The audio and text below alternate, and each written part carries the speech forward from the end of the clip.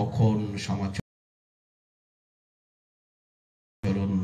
দাসজি সেবক আর কেউ নাই। আমি প্রসাদ বয়ে বয়ে প্রসাদ বলে প্রসাদ বয়ে বয়ে পাঠাতাম। তারপরে আমাদের গোকুলানন্দে বাড়ি হলো, সেইখানেও প্রসাদ সেইখানেও প্রসাদ পাঠানো তো এই যে হেন সাধু নেই যে ওনার অন্নে, ওনার দক্ষিণায়, ওনার মিষ্টান্নে, সদ্ব্যবহারে, সৌশীল্যে, যারা রোগগ্রস্ত হয়ে রামকৃষ্ণ মিশনে কোথায় প্রসাদ পাবে? ওনার মন্দিরের থেকে, বা গেলে ওনার ওখানেই থাকা, ওনার ওখানেই প্রসাদ পাওয়া। তারপরে কি আরও বলতেন, যেখানে যত শ্রীপাঠের সেবা হচ্ছে না ঠিক মতো, দেখো কোন পুরনো মন্দিরের সেবা হচ্ছে না, কোন শ্রীবিগ্রহের সেবা হচ্ছে না। সেই সেবাগুলো না বলতেন কিনা কতবার বললেন যে, দেখো তো, রাধাকুণ্ডের কোথায় কোন মন্দিরে কি দরকার, কোথায় টাইলস লাগবে, কোথায় কি লাগবে? এই যে, অর্থ তো অনেকের কাছে আছে, অর্থ তো আমার কাছেও আছে। আমিও তো এখন দু লাখ টাকা এখনই ছুড়ে দেব। কিন্তু আমার কাছে তো মনটা নাই। অর্থ কার না আছে? কিন্তু মনটা তো নাই। এই জন্যই ওনাকে বলেছিলাম, মনটা দেবেন মনটা দেবেন কি? আপনার মতো মন হবে কি? তারপরে পরিশ্রম। সকালবেলা বৃন্দাবন। উনি তো তিনটা, সাড়ে তিনটার মধ্যে ঘুম থেকে উঠে যাবেন। স্নান টান করে উনি তো ওনার তিলক করে নিলেন। জপ টপ করে এবার সকালে উঠে হাঁটা দিলেন। ওনার তো চরণে চপ্পল নাই, গায়ে কিছুই নাই। সকালে বৃন্দাবন। এর মধ্যে পূর্বাহ্নে রাধাকুণ্ড, মধ্যাহ্নে গোবর্ধন, অপরাহ্নে বর্ষানা। এরপরে, ওই হয়তো সায়ন্যে হরেল লিখি, কি দেবী আঠাশ? ওইখানেও মন্দির আছে। সকালে আবার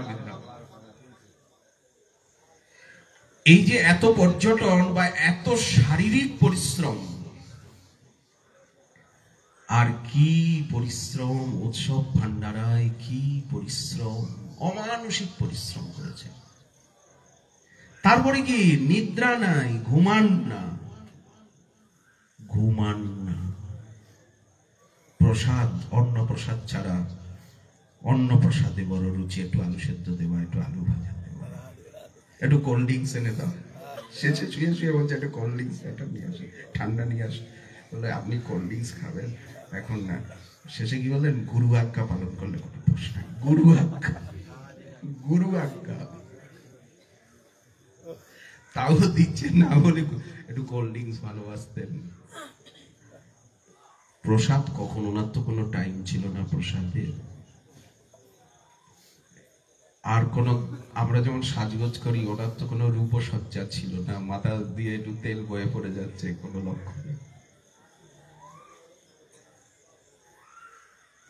তারপরে গুরুনিষ্ঠা। গুরুদেবের কথা বলতে কেঁদে আকুল।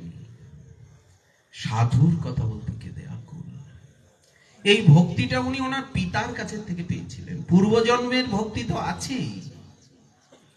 পূর্বজন্মের, উনি তো পূর্বজন্মেই জাত রুচি, জাত নিষ্ঠ।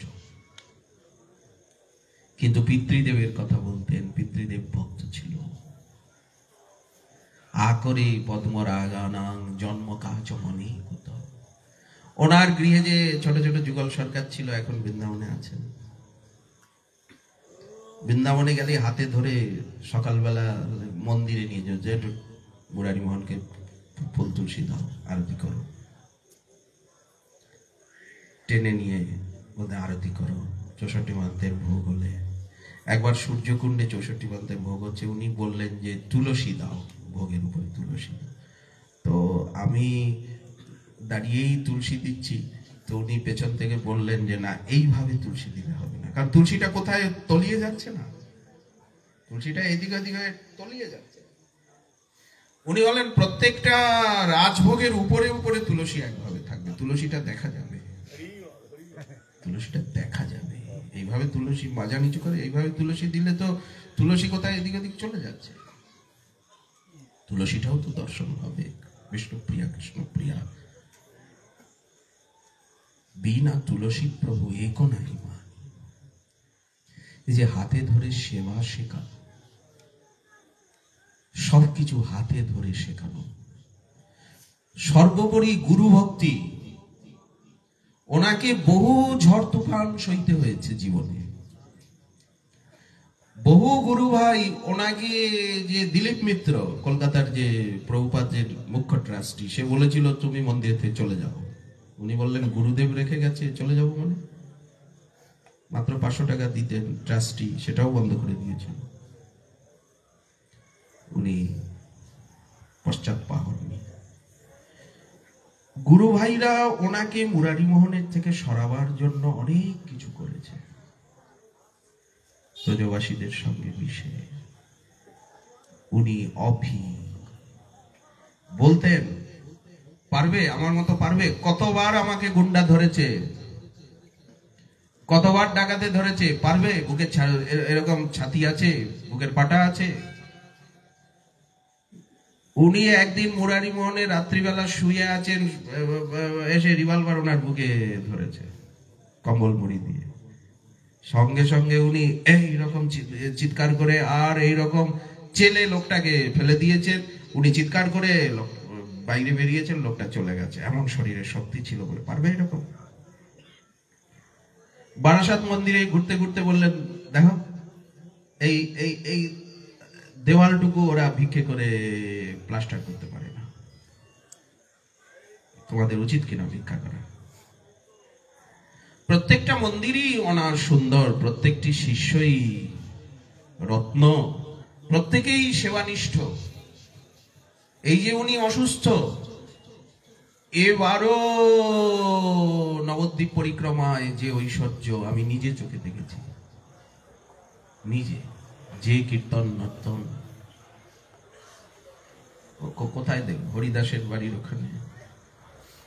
হরিহর ক্ষেত্রে। এই।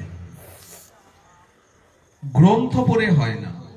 বৈষ্ণব জীবন পড়ে, ভক্ত চরিত্র, ভক্তমাল, ভক্তগাথা পড়ে এই শিক্ষা লাভ হয় না। সাক্ষাৎ মহতের সঙ্গ প্রসঙ্গের থেকে, শাসনের থেকে যে শিক্ষা লাভ হয়, ওই জন্য প্রতি পদে পদে মনে হয় ওনার মতো মহাপুরুষ প্রতি জীবনে আমার প্রতি প্রতিক্ষণে প্রয়োজন।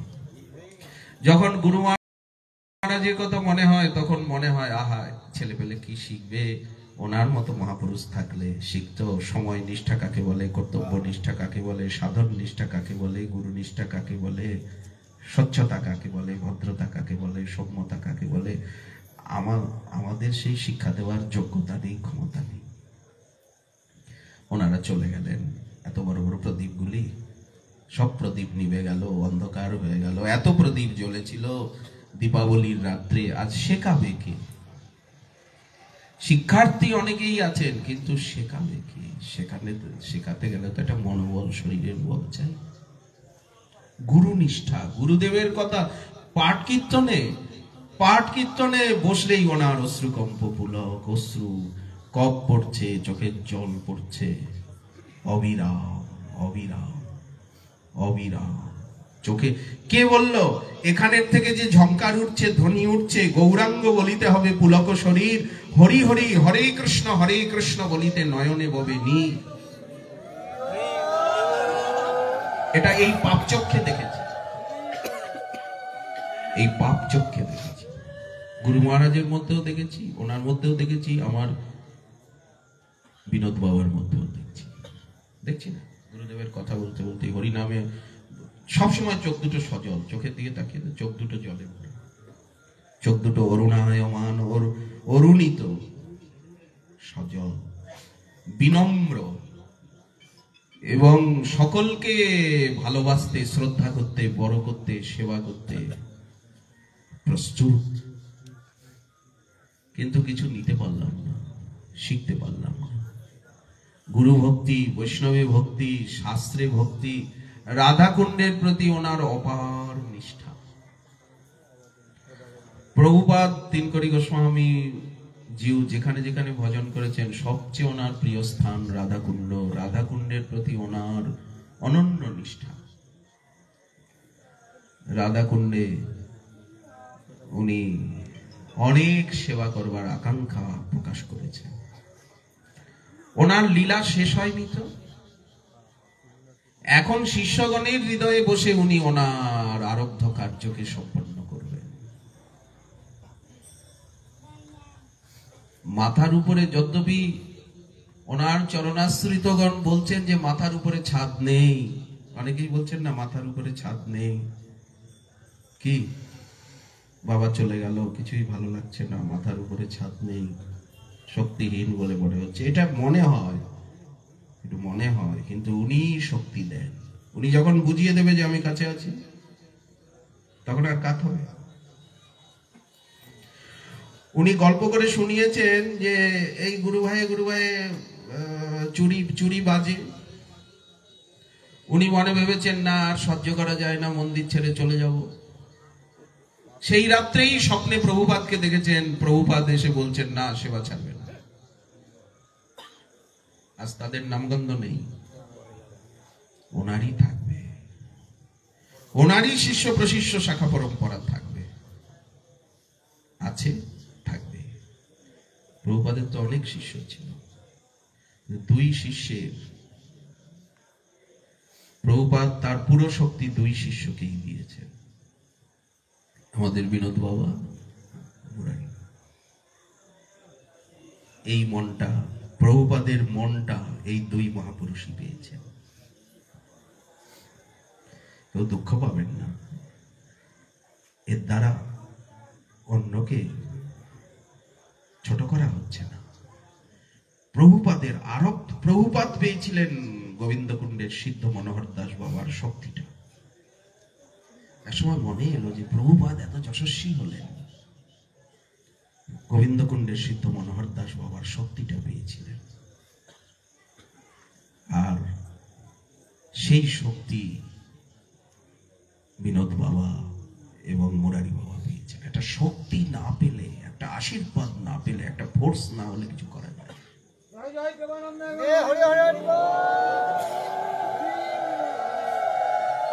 আপনারা বিশ্বাস করুন গুরু শক্তি বৈষ্ণবের শক্তি কবিরাজ গোসাইপাদ লিখছেন, বৈষ্ণবের আজ্ঞা বলে করি, এতিক সাহস। এই সাহসিকতাটা সবসময় জানতে হবে যে দেহ সুখ, আত্মসুখ কখনো জগতে প্রতিষ্ঠা লাভ করতে পারে না। দেহ সুখ, আত্মসুখ, স্বাভিমান কখনো প্রতিষ্ঠা লাভ এই জন্য বিদ্যাপতি ঠাকুর লিখছেন, সুজনক দুঃখ দিন দুই চারি। সুজনের পাণ্ডবের জীবনে দুঃখ এলো ধ্রুব প্রহ্লাদের জীবনে দুঃখ এলো, অম্বরীশের জীবনে দুঃখ এলো, যুধিষ্ঠিরের জীবনে দুঃখ এলো, কুন্তির জীবনে দুঃখ এলো, দ্রৌপদীর জীবনে দুঃখ এলো, কিন্তু সুজনক দুঃখ দিন দুই চারি। এগুলো পরীক্ষা কত দিনের কত কথার স্মৃতি, কত সহায়তা, কত অন্ন। এই ওনার সৌম্যতায়, ওনার স্নিগ্ধতায়, ওনার বিনম্রতায় আমরা অনেক সময়, অনেক বিপদের থেকে উদ্ধার পেয়েছি। উনি ছুটে আসতেন। আজ এই স্নেহ, মমতা, ভালোবাসা কার কাছে পাব? কার কাছে পাব? উনি আছেন ঠিকই, ওনার আশীর্বাদ আছে। উনি নাম রূপে, মন্ত্র রূপে, বিগ্রহ রূপে, আশ্রম রূপে, আশীর্বাদ রূপে, কৃপা রূপে সবসময় আছেন। কিন্তু এতে কি পেট ভরে? এতে কি পেট ভরে?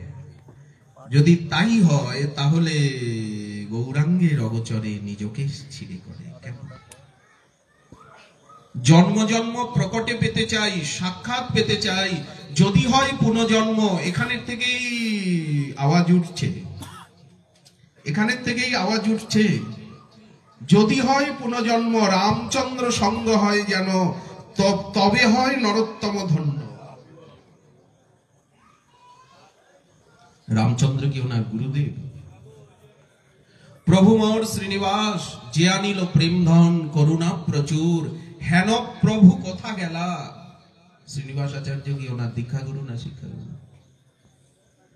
কিন্তু তাকে প্রভু বলছেন, হেন প্রভু কোথা গেলা, আচার্য ঠাকুর।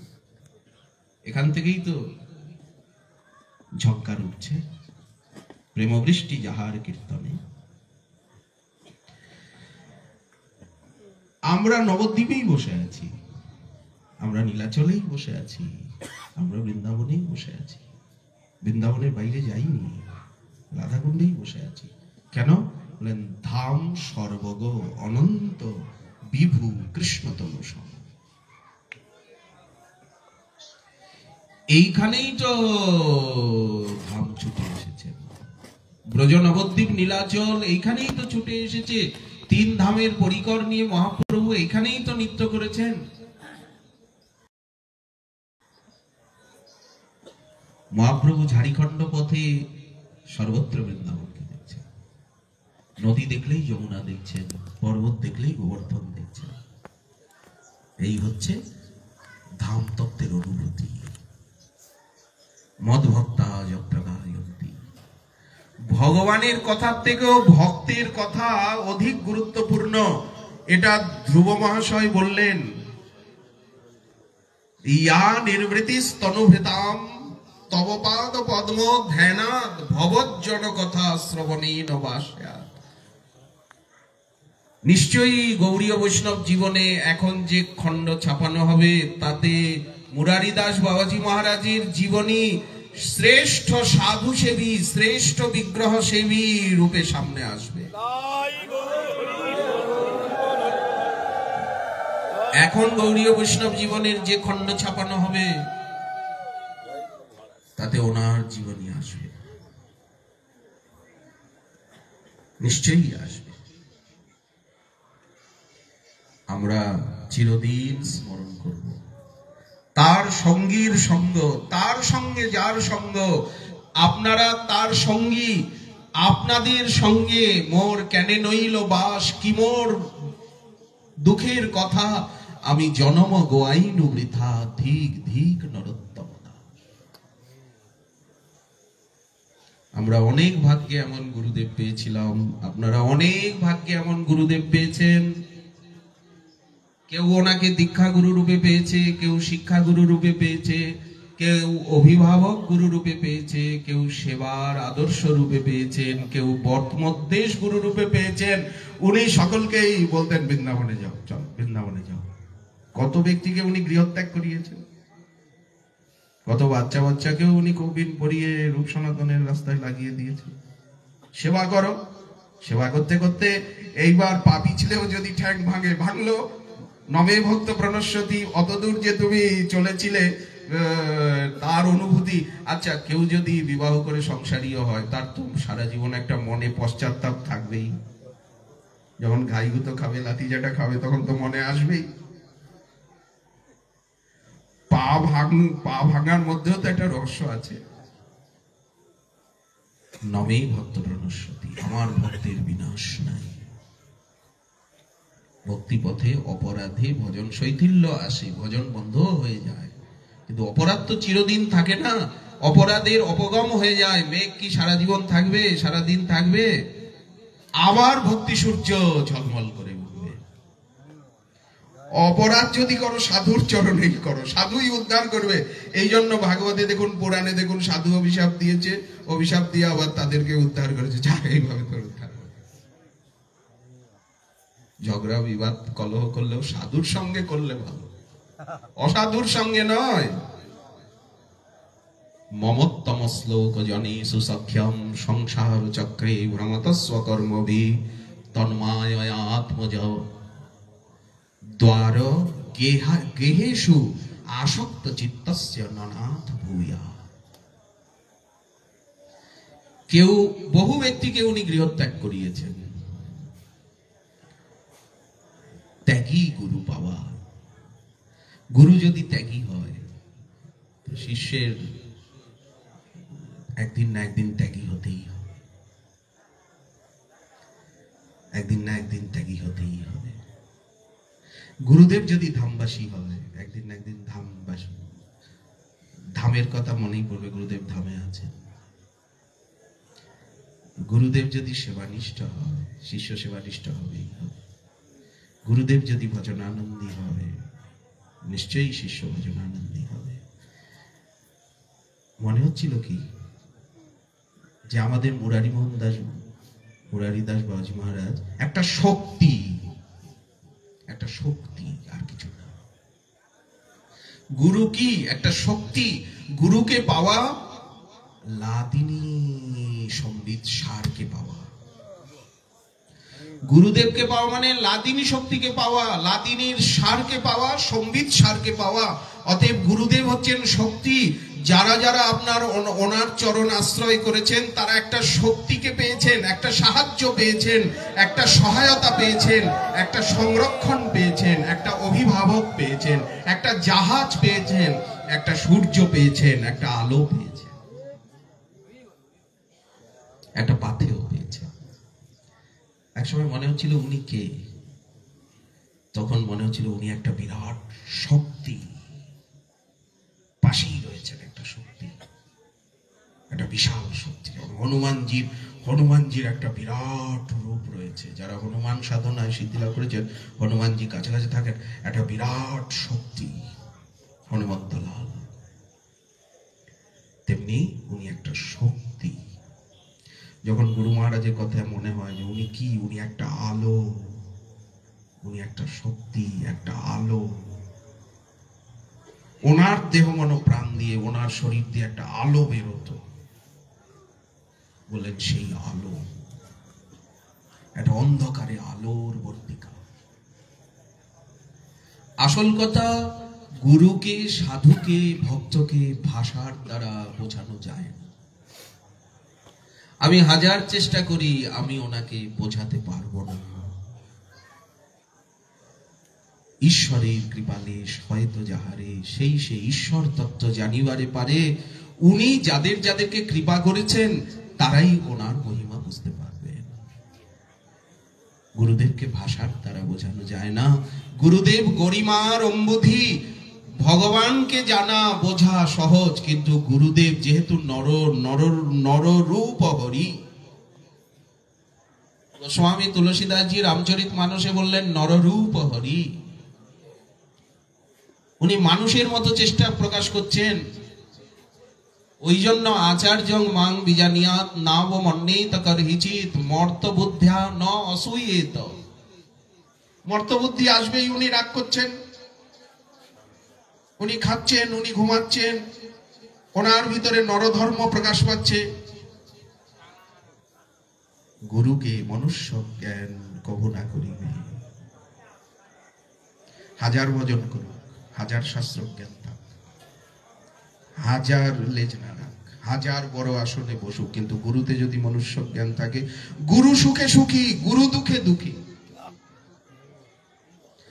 আগে ভগবানকে গুরুদেবের মধ্যে দিয়ে পেতে হবে, গুরু রূপে পেতে হবে। যতক্ষণ পর্যন্ত গুরু সুখে সুখী না হলাম, গুরু দুঃখে দুঃখী না হলাম, রাধারানী সুখে সুখী হতে পারব? তৎসুখিত্ব ভাব আসবে, মঞ্জরি ভাব সাধনার ম মাথায় ঢুকবে। কৃষ্ণ দাসের দ ঢুকবে। যদি প্রত্যক্ষ করুণাকে গুরু রূপে প্রত্যক্ষ করুণা, সেই প্রত্যক্ষ করুণাকে অনাদর করে, গুরু মহারাজ বারবার বলতেন, প্রত্যক্ষ করুণাকে অনাদর করে, যারা পরোক্ষ করুণার অনুসন্ধান করে, তারা বঞ্চিতই হবে বাবা মাকে আঙুল দেখিয়ে দিলাম, গুরুদেবকে আঙুল দেখিয়ে দিলাম, সাধুকে আঙুল দেখিয়ে দিলাম, আর ভগবান ভগবান বলে এটা হতে পারে? অকৃতজ্ঞ হলে ওই জন্য আগে গুরুরূপে পাওয়া। শ্যাম শ্যাম সুন্দর সে মিলনে কা বাহানা। ক্যা? সাধু সঙ্গ বাহানা। শ্যাম, তুমি প্রথমে গুরুরূপে এসে ধরা দিয়েছ। শ্যাম সুন্দর। তুমি গুরু রূপে এসে ধরা দিয়েছ। তখন বুঝতে পারিনি যে গুরু রূপটি তোমারই রূপ। দাঁত থাকতে দাঁতের মর্ম বোঝা যায় না। যতক্ষণ উনি প্রকট ছিলেন, ওনার মহিমা বুঝতে পারিনি। এখন উনি অপ্রকট লীলায়, এখন উনি পেছনে আড়ালে। এখন ওনার স্মৃতি পূজা ওনার স্মৃতি পুষ্পাঞ্জলি ওনার স্মৃতি সুধা ওনার স্মৃতি সঞ্চয় কিন্তু বেঁচে থাকতে যদি বুঝেনি বেঁচে থাকতে যদি পেয়ে চেয়ে নি, নিয়ে নি, তবেই তো বুদ্ধিমত্তা। তবেই বুদ্ধিমত্তা না? এই জন্য আমরা যাতে বঞ্চিত না।